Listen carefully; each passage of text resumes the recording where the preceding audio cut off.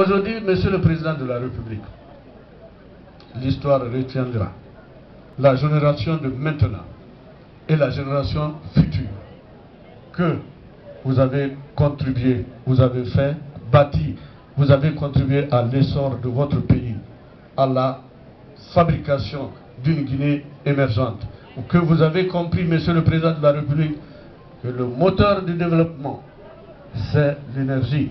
L'énergie au cœur du développement de notre pays. Nous sommes donc aujourd'hui à Amaria, c'est historique. Le maire de Ouassou rappelait que depuis la période coloniale, beaucoup d'études ont été faites. Ça n'a jamais marché. C'est avec votre volonté.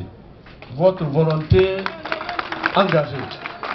Votre volonté irréductible pour donner des conseils. Nous vous avons vu, Monsieur le Président, en Chine, quand vous m'avez dit recevez TVA, regardez ce qu'ils peuvent faire pour notre pays. Et cette signature a eu lieu, je veux rappeler, de, de l'accord cadre, c'était le 6 novembre 2016 à Pékin. Nous sommes en 2018, en quelques 14 mois.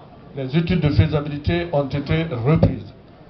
Et en quelques 14 mois, nous sommes là aujourd'hui pour lancer les travaux d'aménagement hydroélectrique du barrage de Amaria pour 300 MW. On pouvait dépasser les 300 MW, Monsieur le Président. On pouvait aller jusqu'à 600 MW. Mais en le faisant, nous allons inonder les zones minières de Fria. C'est pourquoi la production a été réduite à 300 MW. Il va faire, ce barrage-là fera une hauteur de 60 mètres, avec un plan d'eau de 58 mètres, la côte, je veux dire, par rapport à la, au niveau géodésique de la mer, zéro.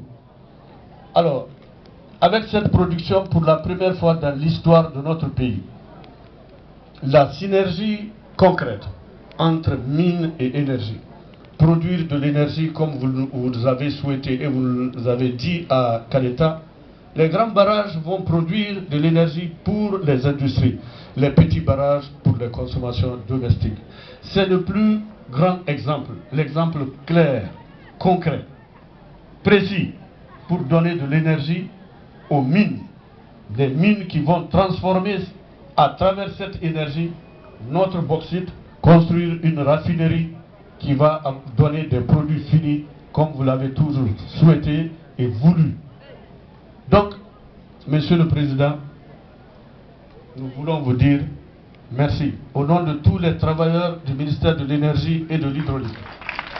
Vous dire merci pour les grandes initiatives. Si aujourd'hui on est devant vous pour dire ceci ou cela, c'est parce que vous nous avez guidés.